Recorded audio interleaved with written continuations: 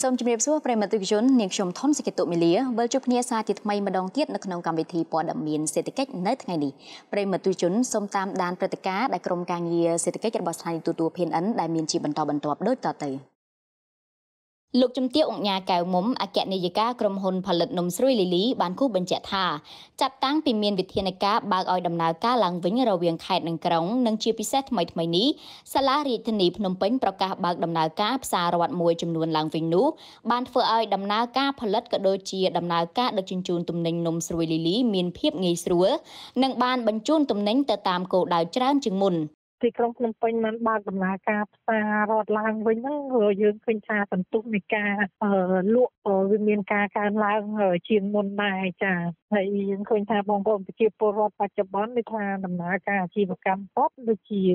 រៀងរលូនឡើងវិញដែរអញ្ចឹងណាយើងឃើញថាការលក់ដូរទោះបីចរាចរណ៍នៅលើផ្លូវសាធារណៈក៏ច្រើនដែរចាអញ្ចឹងបើសិនជា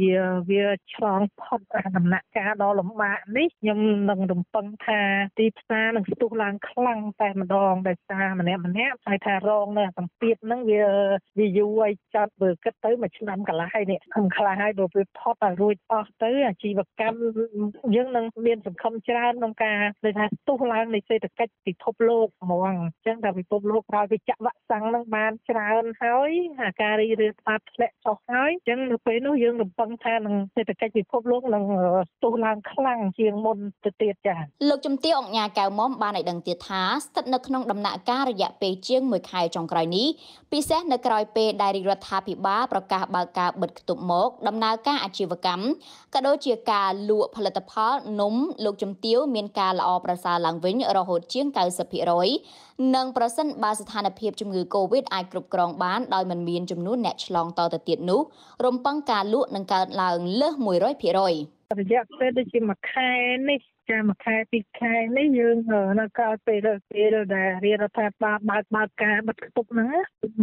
ការលក់មានក៏មានការកើនឡើងទុះខ្លាំងនៅពេលគាត់បើកភ្លាមទៅតាមយើងទុះខ្លាំងតំណែងលើទីផ្សារវាអស់គ្រប់កន្លែងណាដល់អញ្ចឹងវាផលិតផលយើងវាទុះខ្លាំងដែរហើយមកដល់បច្ចុប្បន្នយើងឃើញថាដំណើរការបែប90%ឡើងវិញយើងត្រូវការធ្វើថែមម៉ោងអញ្ចឹងរយៈពេលដែលយើងគប់គង់ពេញទីផ្សារហើយឥឡូវវាដំណើរការថាទីផ្សារធម្មតាឡើងវិញអញ្ចឹងណាចាហើយក៏យើងនឹងរំពឹងថាបន្តិចទៀតក៏នឹងយើងអាចលក់ដូរកាន់តែច្រើនឡើងជាងមុនដែរចា លោកជំទាវអុកញ៉ាបានឲ្យដឹងទៀតថាចំពោះដំណើរការនាំចេញទៅទីផ្សារបរទេសគឺនៅតែដំណើរការជាធម្មតានិងបើគិតពីទំហំនៃការនាំចេញវិញគឺកើនឡើងពី10ទៅ20%ដែលបាននាំចេញទៅកាន់ទីផ្សារបរទេសគោលដៅជាង10ប្រទេសក្នុងនោះប្រទេសដែលមានតម្រូវការខ្លាំងមានអូស្ត្រាលី, New Zealand, កូរ៉េខាងត្បូងនិងសហរដ្ឋអាមេរិក